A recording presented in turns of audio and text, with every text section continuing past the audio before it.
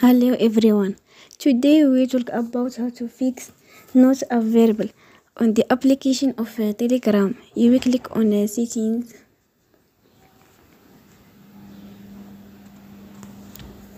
Then we click on apps. After that you will search about the app of uh, Telegram.